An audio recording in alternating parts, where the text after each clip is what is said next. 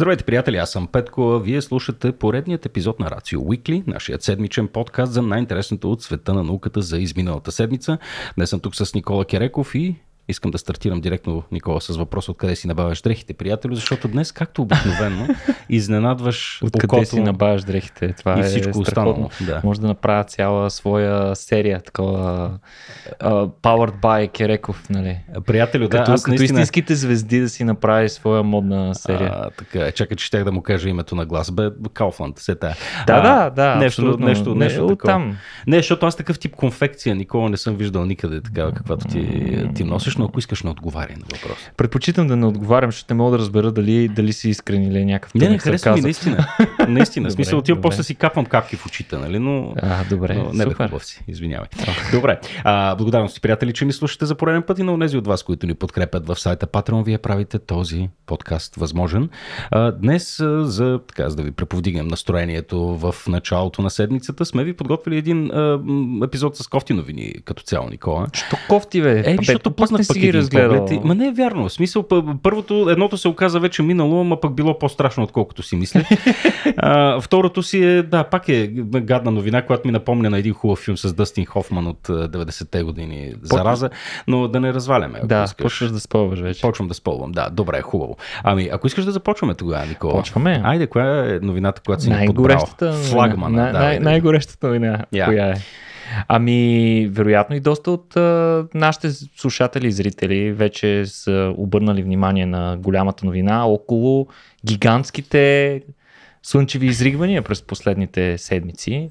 Май месец беше един от най-активните месеци за нашата мила родна звезда, която направи така, да се каже, голям шлем от брутални изригвания. А между другото и доста хора около мен, трябва да кажа, които сега не, не мога да кажа доколко това е истина, нали, има различни видове научни доказателства и свидетелства, че наистина мощните космически а, слънчеви изригвания влияят на хората по някакъв начин, като причиняват или обострят някакви хронични проблеми, често са свързани с главоболие, отпадналост и така нататък. М, не, не е факт, но не е и съвсем измислица. Така. Не е съвсем измислица, Мгм. има известни корелации, но не е толкова удостоено с категоричност и доказано от науката като факт, но все още наистина много хора се влияят от тия неща. А, сега конкретно за мощната геомагнитна буря, която причини рекордно изригване в началото на май, ще си говорим днес, а, като тя стана още по-известна с това, че предизвика гигантски и безпредседентни северни сияния, или как по-скоро сияния трябва да го наречем, защото те бяха повсеместно разпространени в цялата планета, но конкретно доста хора ни зарадваха с невероятни снимки. Хора, които живеят примерно в Централна или дори Южна Европа, като нас, включително и в София. А, представи си в София на цялото това светлино замърсяване, хора бяха успели да заснемат някакво сияние. Хм. А, тук това знаеш, че не е много характерно. Кога друг път през живота си ти лично си спомняш да се вижда сияние в София? Никога съм виждал сияние в Аляска, между другото. Там е, А, там сигурно е впечатляващо. там е впечатляващо. Хубаво е, да. А и там е и тъмничко, нали? Тъмничко. Което повишава способността ти на очите да го различат, по-чисто е небето и така нататък всичко останало, Да. което допринася, прави, създава предпоставките за дни прекрасни наблюдения на северно сияние. Както знаеш, някои държави в Европа са превърнали северното сияние в а, своеобразен бизнес модел, като а, дори има конкретни топ дестинации, които хора могат да отидат и да наблюдават а, сиянието, като например в Тромсо и на други места в а, Не север... безизвестното Трионсо. Небезизвестното Норвегия, Тромсо, които, да, което, което по същество според мен даже нямаше изобщо да го знаем като име, ако не бяха организираните трипове в пустоща, където хората ходят да гледат и снимат северни сияния и така нататък и така нататък. Но а, интересната новина, за която искам да ти кажа, Петко, е, че освен това, което се случва над Земята и в атмосферата ни, северното сияние се оказва, че е било детектирано дори на дъното на океана, за да добиеш представа колко е било мощно. А, така, Не учи- северното сияние, е, изригването. Изригване. Мощните. Да, те, да, те, да. Сега ще си споменем, Да, то даже да не е било. какво е това, да. Не е било едно изригване, няколко. А, сега учените, конкретно за дъното на океана, споменавайки го, учени са разположили магнитни компаси на дъното край бреговете на Канада, а, и всъщност те са засекли по тези компаси значително смущение в магнитните полета на планетата а, заради потока от заредени частици на Слънцето, най-вероятно се дължи това нещо, като а, какъв поток е, за какъв поток си говориме? Говориме при всяко от тези гигантски изригвания се отделят милиарди тонове материал, които се изхвърлят с огромна скорост в космическото пространство във всякакви посоки. Нали, Слънцето няма нещо лично към нас, директно към Земята да фърля. То фърля където се случи. Mm-hmm. Общо взето. А, тези, този тип изригвания, при които имаш изхвърляне на слънчева маса, се наричат коронални коронарно масови изригвания или coronal mass ejections. А, като те пътуват тези, това огромно количество материя, най-вече под формата на заредени протони и така нататък. тези частици пътуват доста време. Ние светлината от явлението можем да я видим сравнително скоро, около 8 минути след като се е случило, но тези частици пътуват няколко часа, да даже продължават и до, до повече от 10 часа. По-бавно. Те се движат значително по-бавно от скоростта на светлината и, сти... и в крайна сметка стигат до атмосферата на планетата ни, където те взаимодействат с какво? С нашето магнитно, магнитно поле което е нашия магнитен щит, който ни предпазва именно към, от такива неща, от такива явления. А, се едно, виждаш, наличието на магнитен щит на планетата ни до голяма степен подкрепя теорията за а, интелигентния дизайн, Петко. Yeah. Без този щит на къде? На къде, нали? И виж да. цялата ни планета колко добре е направена, точно удобна като за нас, както хората там използват, нали, че банана бил направен да, с да пасва прав... на ръката. напасва на ръката mm-hmm, и така нататък. Mm-hmm. А, но да, при взаимодействието с а, магнитното поле се образува това, което ние наричаме вече геомагнитна буря. Тоест mm-hmm. те са две неща. Едното е слънчевото изригване, другото е геомагнитната буря. Слънчево изригване може да има и без да се получи геомагнитна буря, ако а, не се предизвикат необходимите смущения в нашето магнитно поле или ако а, съответния поток от частици, изхвърлен от Слънцето, не е директно насочен към нашата планета. Само един, един уточняваш въпрос. Ти спомена, че въпросните протони, частици пътуват mm-hmm. доста по-бавно и отнемат часове а, да дойдат до Земята. Значи ли това, че ние ги засичаме доста по-рано, отколкото те могат да стигнат до нас. Имаме известно време за предупреждение. Ако да, смисъл имаме да няколко кажем. часа, в което ако да. видим нещо наистина фрапиращо, деца вика си спреме тока и да... И да влезем в мазето и, да. и стиснем спиринче между между кръченцата и чакаме, да. В смисъл, Това ли е технология? Ами не знам, но... Между не, зна, не знам, но нашата, нашата планета и изобщо хората сме нещо с изключително мизерно и нищожно на фона на гигантското слънце, което а, всъщност съдържа повече от 99,5% от материята в Слънчевата система. И това разделено чудовище ако не е в настроение, може Ме все пак знаеш, на штрак ти, да ни Ти сам го каза, то е създадено за нас. То си е създадено да за топи, нас, така, да, че... програмирано е, а, да, е Добрия да се държи прилично. Внимава, да. да, иначе при тези геомагнитни бури, това, което се случва е, че огромният поток от заредени частици, а, во, взаимодействайки с а, магнитното поле, магнитните такива линии, на, които се образуват около планетата ни, а, това води до отслабване на магнитното поле на Земята, което пък позволява на другите частици, защото те са огромен поток, да почнат вече да навлизат навътре в атмосферата и да започнат директно да я бомбардират отгоре. А, тъкмо на това се дължат и сиянията. Всъщност при тази своеобразна бомбардировка се възбуждат атомите в а, атомите на елементите в състава на нашата атмосфера най-вече в горните слоеве на атмосферата, които в последствие възбудените атоми се връщат в стабилно състояние. При връщането им те отделят част от тази енергия, която са поели при възбуждането си под формата на светлина и в зависимост от различните елементи и различната височина на, в атмосферата, където се наблюдават въпросните възбудени частици, светлината е, която се вижда от тези сияния е с различен цвят. И, и всеки елемент има различен цвят, реално в атмосферата. Точно така, да, okay. точно така. Значи, обикновено сиянията, както казахме, те са видими около полюсите, защото там магнитното поле, защитния нашия своеобразен магнитен щит е най-тънък. А сега обаче между 10 и 12 май тая година се случи нещо безпредседентно. А, имаше множество изригвания, като поне 5 от тях са от най-мощния клас, Хикс класа. Преди, не, преди този клас има клас B, C и M, а, но класа Хикс са най-мощните като съответно те са, мисля, че хиляда пъти по-мощни от най-низкия клас изригвания.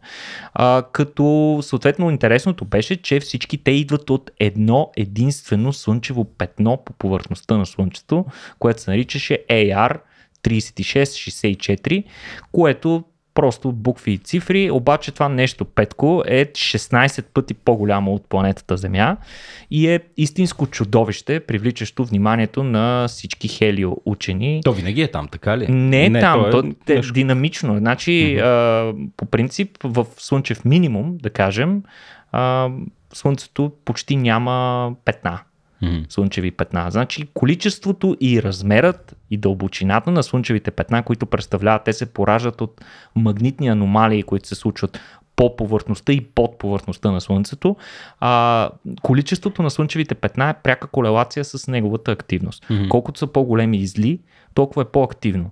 Това е което се случи в момента. Въпросното петно беше толкова зло, че предизвика не едно, множество гигантски изригвания, като съответно сиянията, които се наблюдаваха вследствие на геомагнитната буря, която се предизвика от това, бяха наблюдавани от милиони хора в северното и южното полукълбо, като почти до нивото на екватора хора от Мексико и Нова Каледония са успели да, заснемат, да заснемат сияние Петко. Това, Това е, е много странно. А, а, Аз къде съм блял? Защо? Да, именно ме беше яд Петко. Аз, за съжаление, гледах всички кадри на включително и на свои приятели постфактум на следващия ден. Много Ти ме беше яд. А пък времето пък в събота тогава, то мисля, че беше четвъртък срещу петък или петък срещу събота беше, не си спомням точно, но да, беше доста потрясаващо. Сега, не са единствените ефекти обаче които се наблюдават, свързани с тези сияния. А, нали, вече споменахме, за, че мощните магнитни аномалии могат да индуцират и електрически полета, които пък могат да влияят на електропреносната мрежа и на комуникациите. Сега компасите на учените в Канада, за които говорихме по-рано, са били разположени на някои от тях са били разположени на над 4 км дълбочина и дори те са се активирали. В смисъл, детектирали са магнитни аномалии, а, като по принцип, защо имаме радари там край брега в Канада, а, целта им е съвсем различна, няма нищо общо с измерване на слънчеви изригвания. Не толкова, целта им е била да се да ориентират точно един мощен инструмент, те са серия от инструменти, доплерови детектори, а, обсерватория, която се състои от множество такива доплерови детектори, чиято цел е да следи промени в океанските течения. Ага. И за, тъй като там всичко е много динамично, се налагат тези уреди да се калибрират всеки ден. И затова е нужно много референтни точки, които да вземат предвид. И какво са установили те, че изместването на компасите при изригванията около 10 май са били на плюс-минус 30 градуса. Значи ако си представиш един компас, mm-hmm. сочи север-юг, си представи как се измества на 30 градуса фуф, настрани. Доста, доста сериозно изменение. А, и включително говориме за такива, които са под водата. Тоест, дори водата не успява да екранира мощният ефект от въпросната буря. Сега в бъдеще учените планират да използват това откритие и подобни детектори, за да оценяват интензитета и характеристиките на слънчеви изригвания. Т.е. има нещо положително от цялото нещо. А, сега трябва да кажем къде се намираме в момента и какво да очакваме от Слънцето в следващите дни или години. Интересното между другото беше Петко, че а, по BTV един от метеоролозите този мъжа, забравих му името, mm-hmm. той е много запален между другото по космос и всячески се опитва да плъгва в а, там 30 секунди, които му дават на разположение, да си каже прогнозата, да вмъква някакви интересни космически новини. И сега последно време част от неговата кампания беше да вмъква и фрагменти от прогнозата за космическото време. Yeah. и точно тогава се случи, редки случаи, в който гледам новини да а, попадна на тази прогноза, абсурдното беше, че той предрече много спокойно а, поведение на, на Слънцето. Ага. Каза, леки, евентуално геомагнитни бури се очакват. А в петък буквално хората е така си ходят по Витушка и гледат сияния отгоре. Аз не знам, а, да, Нико, само, само една бърза скоба с теб. Сме говорили няколко пъти как вкарват се нови AI модели, па нови спътници, пък това как ще ни помогне все по-точно да предвиждаме времето. Аз им чуш, че става все по-зле. Не, не, това просто С по-скоро... нощи е, големия дъжд, защото записваме на 23 май Мгм. с тебе, Никола, на 22 се изсипа голям дъжд е, в София. И градушка. Да, и аз е, е, по няколко информационни потока е, казваха, че щяло да има до 5 см там на, нали, А, на квадратен метър. А, лек дъжд, ала бала, да не говорим за моя ап на Не знам. Apple, какво показваше. Не знам къде гледаш моя, моя ап, даваше някакъв апокалипсис и го даваше да Наистина? почне още от ранен след обяд. А. И като стана 2-3 часа и аз съм такъв, аре, нали, къде е то дъжд, пак се прекарах да си нося Мгм. чадър и да се облека, Да. но с известно закъснение стихията дойде. Ме, значи май съм на руски интернет, не знам какво правя. аз. Добре. А, иначе предстои комбинацията, на, защото нали, хората питат защо е Слънцето последно време толкова активно, какво крият астрономите петко от нас. Тук има нещо, някакъв холивудски сценарий, Слънцето ще гръмне, всички ще умрем. А, не е така ситуацията. Причината Слънцето да е толкова активно през последните няколко месеца имаше доста изригвания, е факта, че в момента наближаваме кулминацията на 11 годишният слънчев цикъл. Намираме се вече официално в рамките на слънчев максимум, а, което ще продължи в следващата година, две, може би. Като кулминацията дори все още предстои. А, следващата година се очаква още по-силна слънчева активност. А, много добре се получи в интерес на истината, че отложиха мисиите Артемис, защото при всички случаи това нямаше да, щеше да представлява някакъв допълнителен риск за астронавтите, които ще изпращаме по посока на Луната. Веднъж отделили се от топлата превглътка на планетата ни и от а, хубавият а, щит около нас, който имаме, сигурно с астронавтите нямаше да са на съвсем сигурно място в ситуация с едно такова разярено слънце около себе си. А, разбира се, те имат начин да ги защитават, но това е един допълнителен риск. Иначе от НАСА твърдят, че тази геомагнитна буря Петко може да е една от най-силните за последните 500 години. И според тях ще влезе в учебниците. А, на 13 май, няколко дни след а, големите явления, е имало още по-мощно изригване с а, сила X 8,7, Хикс 8,7, което е изключително силно и мощно изригване. Това е най-силното в този слънчев цикъл до, до наши дни, което за щастие не е било насочено към Земята. М. И за да вкараме малко контекст с тези цифри, защото хората нищо не им говори а, и вероятно им се струва, че апокалипсиса вече е напълно близо, затова изгарям като ходи на морето и така нататък и така нататък. Ами не, всъщност мощни слънчеви изригвания има винаги, когато има слънчев максимум.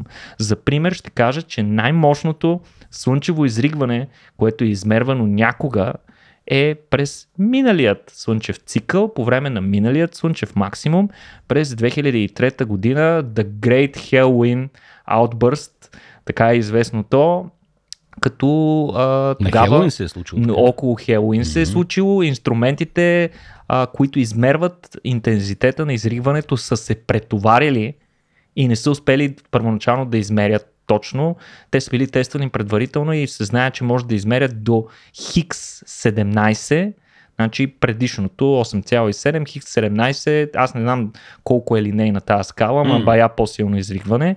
А, в последствие, след като са прекалибрирали уредите и са анализирани допълнително данните, се оказало, че това изригване е било Хикс 45. Тоест може да е много по-лошо. отколкото сме можели да измерваме. Може да, е, може да е много, много, много, много по-лошо. Добре, да, но във всеки случай не се случи нещо особено, освен Не да видим едно нещо. сияние, макар и... Макар, че в... Ти спомниш ли си в живота си наистина нещо такова да се е случвало? Не, Аз не, не, не, Аз не, да, не. аз да, да, да, не мога да се спомня на кого беше крилатата фраза спрете земята, искам да сляза. Ама, честно казано, аман от събития, които влизат в учебниците. Вече смисъл, малко се Да, малко по... поуморих. Живеем в интересни времена, да, Петко, да. като старото китайско проклятие. Феноменално. Ако от тук нататък може да е 50 години, стотина години, тотална скука, ще съм много благодарен. Аман. Добре, хубаво. Като си говорим за скука, истински ад в Мексико, Никола, така си озаглавил следващата новина. Да, там пък се случват много интересни неща в момента. Нямаме представа дали има каквато и да било връзка с слънчевата активност последните месеци, но а, в Мексико в момента се намират в разгара на една от най-тежките горещи вълни, които са имали през последния век. И а, рекордни жеги, целият май са засечени на територията на цяло Мексико, като ситуацията е наистина много тревожна. 30 човека до сега са починали в следствие на топлинен удар а, като броя им непрекъснато се увеличава и според правителството дори тези цифри са доста занижени, защото няма как да проследят какво се случва на цялата територия и да направят директната връзка с смъртни случаи и голямата жега. Температурата в една трета от държавата се задържа над 45 градуса в продължение на няколко поредни дни.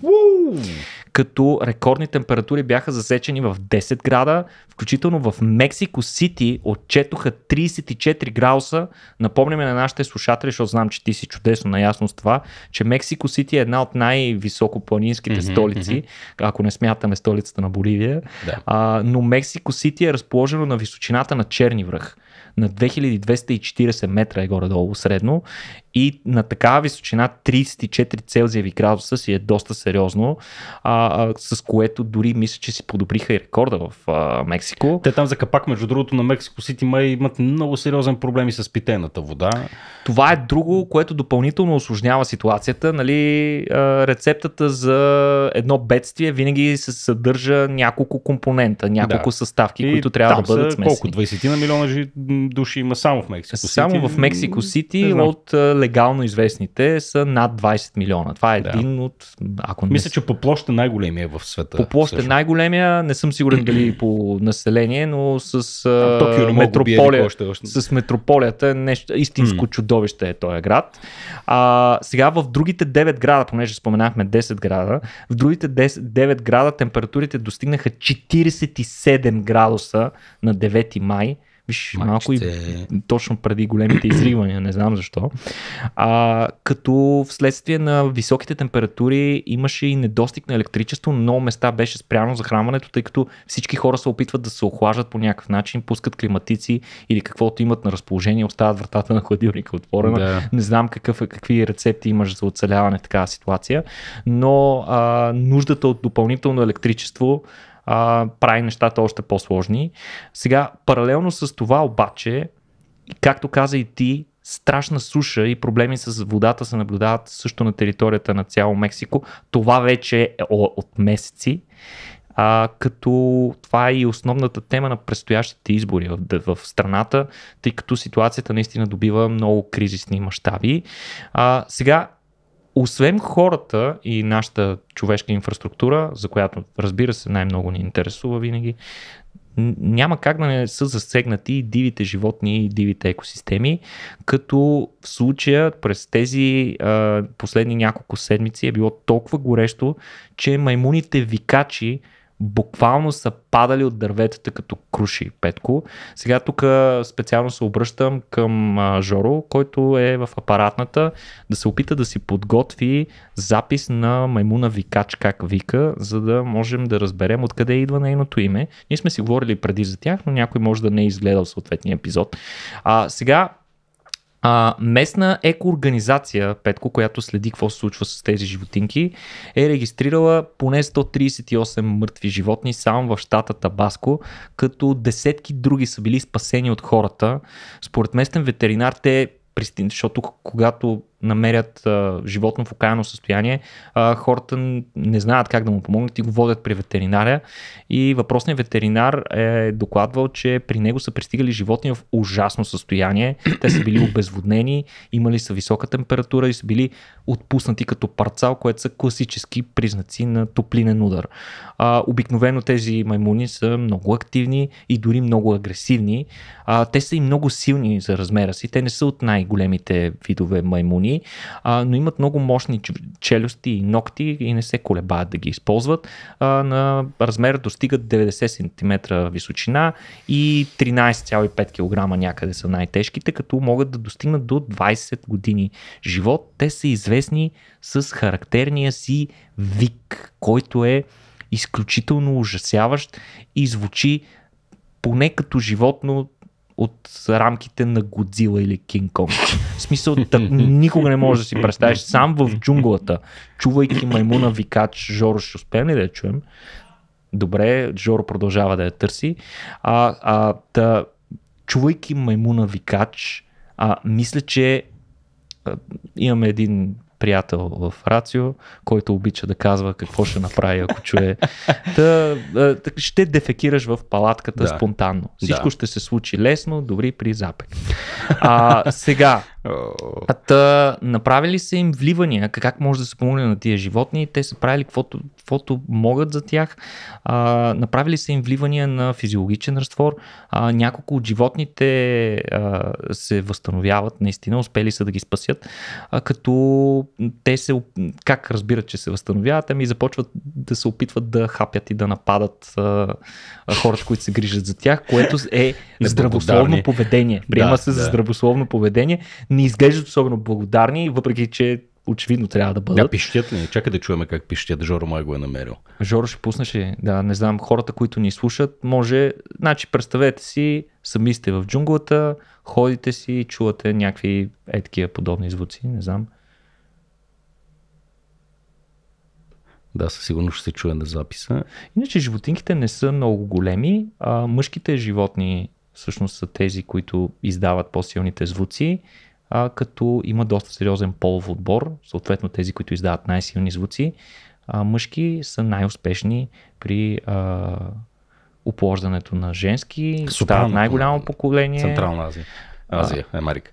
Да, остават най-голямо поколение, освен това а, имат най-голям харем, достъп до най-много женски и така нататък и така нататък. А, те имат специална кожна турба, която е разположена някъде между гърлото и гърдите им и а, тя създава такова реверберация или mm-hmm. резонанс, при който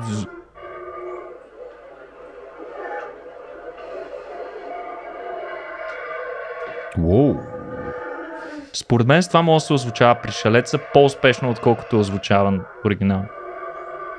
Да, доста звучи си страшничко. Хм. Да, между другото, Никола, впечатля, впечатля това, че ти започна да говориш за неговата анатомия и как така ги издава тия, тия звуци. И аз така плъзнах поглед по сценария и тия неща ги няма. Ти просто, си, ти просто си ги знаеш, така ли? Еми, интересни са. Маймуните викачи винаги са ми били много интересни. Сега, а, разбира се, а, множество неща са направили живота им сложен през последните години. Не е само жегата, много фактори са жега, суша, горски пожари. Разбира се, тук се намесваме и ние изсичането на горите, което създава големи проблеми за тях, защото те не могат да си намерят достатъчно храна, а и не могат нямат достъп до добра дебела сянка, където да се скрият в ситуации на такава тежка жега. А, за сега не е установен патоген, който да е предизвикал подобни ефекти, така че почти със сигурност причината е изцяло топлинния удар, който се наблюдава заради рекордната жега. А, повечето животни, а, които са били открити в такова безпомощно състояние, за съжаление са починали, най-често от обезводняване или от нараняване при падане от няколко десетки метра, където животните са се опитвали отчаяно да намерят прикритие в сянката на дърветата. А, изключително е блебатичен вид. Хората ги обичат, а, макар ужасяващите звуци, които издават. Не знам как се свиква с това, Петко. А, но хората всъщност ги използват като часовник а, свикнали са им до толкова, защото знаят, че маймуните викачи викат най-силно и най-интензивно около изгрев и залев слънце. Това е техния петел. Своеобразен петел, да, да. Не знам колко изръцко е да имаш такъв петел. Доста по-добро от, от обикновените. Сега носили са им вода хората, плодове, а, опитвали са се да ги увиват в а, влажни парцали. Виж каква отдаденост, аз съм mm, силно mm. впечатлен. А, усиновявали са дори осиротени малки, а, което няма абсолютно никакъв шанс за успех. А, да. Няма как такива животни да виреят добре сред а, хората. А, но това са само тези, които хората са видяли. Това са животните, които живеят в близост до населените места на Смятай хората. е било. Представи си каква касапница е било в дивата природа, далеч от населените места, където и популациите на тия животни със сигурност са по-големи. А, дори президентът а, поздрави местните за техните усилия, изрази подкрепата на правителството за тези усилия, но всъщност правителството на Мексико има много по-сериозни проблеми в момента. А, както споменахме, много малко валежи през последната година, язовирите съответно са на минимум в момента. Те не могат вече да произвеждат ток, т.е. водно-електрическите им централи не работят, а при този огромен демант, огромното а, из- изискване за допълнително количество енергия, а, сегашните източници буквално не могат да ги задоволят. На места се а, пренася вода петко с водоноски, дори за болници и пожарни, представи си. И магазините са ограничили покупките на лед до две турби на човек. Ужас. Добре дошли в Да. глобалното, глобалните климатични промени. Сиквайте. Междувременно се оказа, Никол, че сме пълни с пластмаса. Да, А, супер. всъщност, говорейки си нали, за, за Слънцето, говорейки си за всичките тези проблеми, които маймуните имат, се оказва, че и ние имаме проблеми. Нали? не веде. Основната, основната характеристика на нашата цивилизация, ако можем да се определим чисто исторически, като всички предишни човешки цивилизации, които се определят от основно от материала, с който работят и изработват своите желязна и сечива, така нататък. Каменна преди Каменна, това. точно. Точно така. Ако. м, А, само изчакай за малко, че нещо компютъра ми иска да ме ремайна нещо за много успешно се е случило. Бах ти го си. А, сега, а, та, основната характеристика на нашата цивилизация е именно пластмасата. Ако можем след години да погледнем как бъдещите, археолозите на бъдещето след няколко хиляди години ще гледат на нашата цивилизация, почти сме сигурни, че ще я наричат пластмасовата епоха. Йо. Бълваме пластмаса яко. Всичко, което някога е известно, вече почти а, и, и всичко, което нашите бащи, дядовци и прадядовци и така нататък са боравили, всички инструменти, с които те са си изкарвали прехраната, вече имат аналог Пластмасов. пластмасов, а отделно ние непрекъснато бълваме всякакви други пластмасови неща. Пластмасата е буквално навсякъде около нас, включително и тук в студиото, Петко. А, но, а, за да добиеш представа, тя не е навсякъде около нас, само в градовете и населените места. Тя е навсякъде в планетата. Навръх, от връх Еверест до дъното на океаните. Дори последната ни надежда, последният бастион на пустоща, там където нямаме почти никакъв досек, и това е необятната и недокосната пустош на Антарктида. Дори там има много, много пластмаса. Основно такава, която е пренасена с а, а, водните течения на океаните. А, сега, голяма част от животните, дори китовете, вътре в тях се установява огромно количество пластмаса. Някои птици, като например морски птици, албатроси и така нататък, редовно биват наблюдавани как хранят малките си с парчета пластмаса, просто защото са ги объркали с храна, а малките се доверяват изцяло на родителите си. Сега, някой ще каже, сега слушат ни хора и ще каже, абе сега, дреме ми на... Нали, Да, за кормораните там. Точно така. Да. Обаче, наскоро учени потвърдиха, че може би трябва да ни дреме, защото пластмасата е намерила пъти до най-свидното ни място, Петко, както на английски го наричат. А, Няма търпение да чуе с- семейните скъпоценни А. камъсти, скъпоценности, Кралските съкровища. кралските съкровища. За точно така. говорим. Да, Да. като ето, че тестисите се присъединяват към така елитната група от органи, в които е установявана пластмаса, наред с а, червата, очевидно, където тя е лесно да си представим откъде ще влезе, но и я има и на доста други неприятни места, като например в плацентата, в кръвоносните съдове, включително висока концентрация на микропластмаса се наблюдава в атеросклеротичните плаки, а, където местата, където а, се натрупват такива прегради от а, клетъчен и друг М. тип материал, които задръстват кръвоносните ни съдове и влушават предаването на кръв и урсяването на съответните тъкани. Те са в основата на основна, основния причинител на смъртност под формата на сърдечно-съдови заболявания, инфаркти, инсулти и така нататък. А, та, освен това, дори в изпражненията на бебетата се наблюдават с което можем А, Никола! ясно да си направим Къде не се извода, наблюдават? да, че ги има имам ги в почната си ябълка. Но учени от университета в Нью Мексико, САЩ са изследвали биопсии от тести си на хора и кучета. А, като защо са избрали кучетата? Ами защото тестисите на кучетата и на хората имат сходно устройство и освен това споделяме обща среда. Горе-долу живеем на едно и също място Мгм. и при едни и същи условия. Това, което те са открили е пластмаса буквално във всяка проба, която са тествали. Микропластмаса във всяка проба. Три пъти повече пластмаса е имало в пробите от тестиси на хора спрямо тези на кучета. Много интересно. А, средно по 123 микрограма микропластмаса на грам тъкан се установява при кучета и около 3 пъти повече на грам тъкан при хора. Колко микрограма са един грам, Никола? Ти ще ми отговориш. Хиляда. Да, точно така. Искаш да кажеш, че една трета... Не, не, чакай. Не, не грам Хиляда. имаш, да, после следващото е мили. милиграм, Грам. което е хиляда. Точно така. Микрограм е една хилядна от милиграма. Тоест в един Окей. грам има 1 милион микрограма. Окей, добре, значи 100 такова, значи все пак е 0,0000 То е- нещо. Да. То е малко като грамаж, но не му е там мястото. Да, не, това е, това е със сигурност. Аз вече се чувствам болен от И- и- новина. и- и- Въпрос е... И учените не, не просто установили пластмаса, те са установили една истинска пластмасова менажерия, Петко. Цели 12 вида пластмаса са успяли да изолират от а, тестисите на кучетата и на хората. Най-много е имало полиетилен. Няма изненада за това. Това е и основното, основното количество пластмаса, което се произвежда човечеството, се дължи именно на полиетилена в наши дни.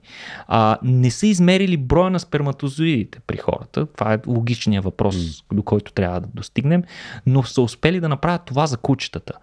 И те са установили, че високите нива на един тип пластмаса, поливинилхлоридната пластмаса или по-известна като ПВЦ, корелирали с по-нисък брой сперматозоиди. Това не може сме напълно сигурни, че корелацията е равна на каузация, Мгм, мгм. Че директна причинно-следствена връзка, има между двете, но има някаква връзка, като а, подобна корелация е установявана и за концентрацията на пестициди и тежки метали в средата.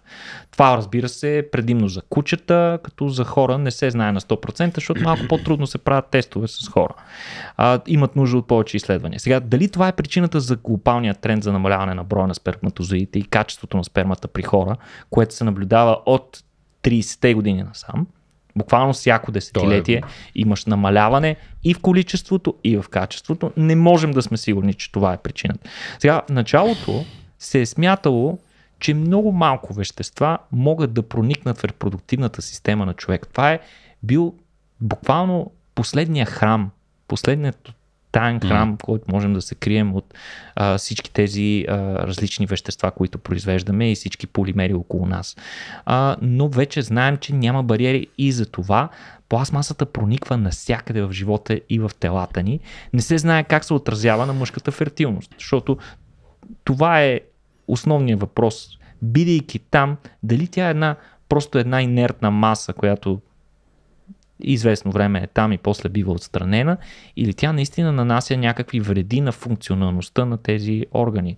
А, няма как да не се отразява, е моят отговор. Като тук правя известна, нека го наречем, информирана спекулация. Защото това, което знаем ние, е, че много често пластмасовите изделия съдържат вещества, имитиращи женски полови хормони. Това са така наречените ендокринови дизруптори. Това са вещества, наистина, които имитират женски хормони. Бидейки там в тестисите, те просто няма как да не се отразяват негативно на функционирането на мъжката репродуктивна система, която тъй или иначе пък е допълнително обременена от различни спомаг... такива придружаващи заболявания, които се наблюдават в западния свят особено. Mm. Както знаеш, например, затластяването е такава, такъв неприятен тренд. Неприятното на затластяването, нали знаеш какво е? Че в а, масната ти тъкан имаш едни ензими, които са, един ензим, който се нарича ароматаза. Ароматазата, това, което прави, е, че директно конвертира тестостерона в женски полови хормони. Това е неговата, това е единствената функция, която изпълнява този ензим. Колкото повече масна тъкан имаш, толкова повече Жена авто, авто, автокастрация, мога да го нарека това. Ако целе, целесъобразно допуснеш да затластееш до толкова, в крайна сметка това води до нарушаване на репродуктивните функции на мъжете. И една от, една от първите препоръки в репродуктивните клиники, когато те работят с хора с подобни затруднения, е мъжа да премине на режим, при който да свали килограми и да влезе в форма. Защото това е най-лесното, с най-малко странични ефекти и с най-бърз и осъзаем ефект. Сега, а, Да, аз мълча, защото съм в... Защо го чувам това за първ път? Ми е отново въпроса. А, трябва да започнем час по-скоро да го адресираме този проблема с пластмасите. Петко, а, щях да те питам между тези ендокринни, как го нарече, Ми- веществата, които Аз не съм да се... сигурен, дали, на български съм сигурен, че има по-добър термин. Мгм. Просто в момента не ми хрумва и се сещам директно да транслитерирам английския. Така да, Endocrine те- disruptors е на английски. Окей, термин. те са, те са а, ключова част от производствения процес на тези...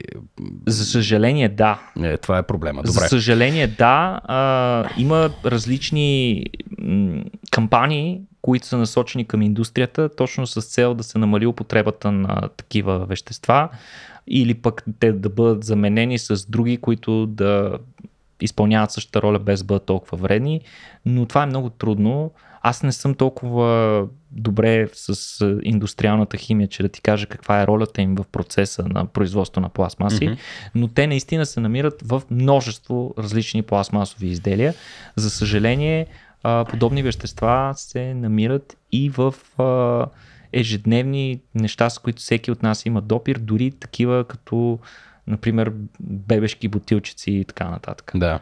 Което е много сериозно. Между другото, едно от местата, където има висока концентрация на такива ендокринови дизруптори, поне по това, което бях чел преди няколко години, изненадващо са термохартията, от която се печатат касови бележки. И за това учените, които бяха установили това, направиха директния съвет, като сте на пазар и ви дадат касова бележка, а двете ви ръце са заети, никога не лапайте касовата бележка. И затова Всеки трябва го да е се правил поне веднъж това. Добре, а, а, окей, сега понеже темата ми е интересна, малко ще изляза. То, ти приключи ли с основната част на това, което искаше да споделиш? Ами мисля че, мисля, мисля, че да. Смисъл, Добре. знаем, че вече ги има и там. Добре, а, отново нямам представа дали, дали знаеш, но а, примерно когато многократно използваме пластмасова бутилка, Мгм. това увеличава ли количество микропластмаса, което ние потенциално поглъщаме или зависи от това къде се намира тая бутилка? Имаш ли представа? Според, нямам представа, но не мога да ти отговоря супер категорично, но бях чел наскоро някакви ужасяващи а, данни за това в една чисто нова бутилка, която седи в магазина, пълна с вода, колко милиона микропластмасови частички има на литър. Беше фрапантна цифрата, не мога да си я спомня директно и да я възпроизведа сега, не съм подготвен, но, но беше потрясаващо. Съответно, всичките тези предмети страдат от а, механично износване. Тоест, ние като вземем тази бутилка и в последствие преизползваме, наистина всички това го правиме с добрата идея а, да не Да. да преизползваме, да, да свърши някаква работа. Не просто след като изпием безалкохолното на един дъх, да го хвърлим и да генерираме още отпадък. Искаме да си го използваме за нещо. Още една седмица, примерно, да си носим, да си носим чай в работата в това шише. Далее, обаче, това шише, като го сложиш в раницата или пък като си играеш да го стискаш напред-назад, ти му Или на- като го пече слънце. като го пече слънце, ултравиолетовата светлина много лошо се отразява на полимерните връзки в състава на всички пластмаси, като това дори се Тя направо се използва разтваря във водата. и това дори се използва като метод за предварително третиране на пластмасови отпадъци. Yeah. Така че а, нямам добра формула. Наистина намираме се в, един, много, в една много особена, особена безисходица, в която, нека си го кажем, нашата цивилизация сме тотално зависими от пластмасата. Пластмасата не е непременно нещо лошо, тя често бива описвана с а, най-печални и черни багри. А, не е така. Всъщност пластмасата е технология, пластмасата е материал, който е мечтания материал на хората в миналото. Те, ако са разполагали с пластмаса преди, са ще ли да направят тази революция, която наблюдаваме сега, много по-рано. Да. Пластмасата решава огромно количество от нашите проблеми. Тя е здрава, лека, лесна и бърза за производство, съответно ефтина и има всякакви разновидности с най-различни особености в своите качества, с което тя е и много адаптивна, може да бъде използвана за най-различни цели. Mm. Големия проблем продължава да бъде начина по който а, ние третираме нашите отпадъци, начина по който а, индустрията избира да произвежда нови неща, вместо да рециклира стари, тъй като към момента, ако го погледнеш чисто економически, рециклирането излиза изключително неизгодно. Да. Всячески неизгодно. Много по-изгодно е да се произвеждат нови неща. Mm-hmm. Така че тук трябва сигурно с някаква генерализирана световна политика на, на наддържавно ниво да се възприеме, а, при която да се въведат квоти в производството на нова пластмаса, съответно да се създадат инициативи за а, нейното рециклиране и най-вече нещо, над което трябва да се мисли много, повече изследвания в посока на създаване на нови по-безопасни полимери. Да. Такива, а, които дори да не са толкова трайни, а, поне да ни вършат работата и да не бъдат толкова вредни. Да. Така че... То има и някои чисто поведенчески мерки, които могат да се вземат. Разбира се. Е, смисъл, то това не знам, сега ще вляза може би в някаква конспирация тук, че е целенасочена политика на компаниите, произвеждащи напитки, вода и, и, и прочее, нали, че виж колко е по-чисто, пък тя па е изворна, пък нам каква а, била. А, ако се обърне малко съобщението или ако се говори за това, за което ние говорихме, за милионите микрочастици, които всъщност се намират, нали, тя питейната вода, чешмяната вода във всеки нормален европейски град всъщност не е проблем да бъде консумирана mm-hmm. директно. Нали, включително и в София, сега предполагам има някакви места, нали, където, където това е проблем. А, нали, тук не говорим за глобалния юг, където има очевиден проблем с достъпа на чиста вода, но, но изключително много се дразни в някакви цивилизовани градове, включително и аз пътувам с приятели и отива се да речем в една Будапешта и се почва, аз, аз тук да пия, няма да пия няма чешмата, да пия защото водата, не знам да, какво. Ти да. майтапиш ли се с мене и се почва едно купуване на огромни количества бутилки, Да, които... да. Аз, аз съм също от хората, които съм голям почитател на Естествено, мен ми е кеф да я пробвам. Абсолютно. Това ти дава ново усещане и доста едно допълнително разбиране на местните хора. Да, Това е да, част да. да влезеш в да влезеш в атмосферата, в живота на тия Да, хора. бях много впечатлен. Виж вода пият, вече им дишаш въздух. Да, да, да, да. Бях много впечатлен. Съвсем наскоро летях. На летище София бяха поставили нови чешми с чешмяна софийска вода. Да, да. Което, а, нали, Това е нова инициатива. към, не знам, ръководството на летището Аз, или кой го знаме, прави това, но... доколкото знаме регулация, вече всички летища са длъжни да предоставят Слава ефтин, Богу. Безплатен достъп на хората до питейна вода. Да, да, чудесно, чудесно. Но ето е такъв тип инициативи. Mm-hmm. В Париж публични чешми се изграждат, нали, навсякъде има много сериозно добре финансирана публична кампания, пийте от чешмата, водата е чудесна и така нататък. Та да, общо ето това трябва да се случи. И страхотно Никола Заляни с а, кофти неща.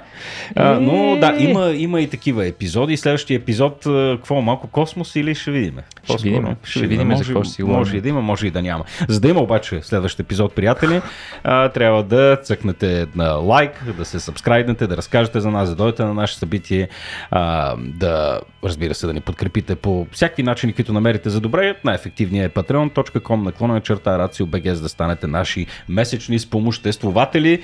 А така, дори може да получавате и по някой бонус епизодче, което записваме с други интересни хора на много интересни теми, достъпи до Discord сервера, където може да питате самия Никола Кереков най-различни неща. Той а, доста активно отговаря. Аз си мисля, че в този Discord сервер не съм казвал нито една дума, Никола.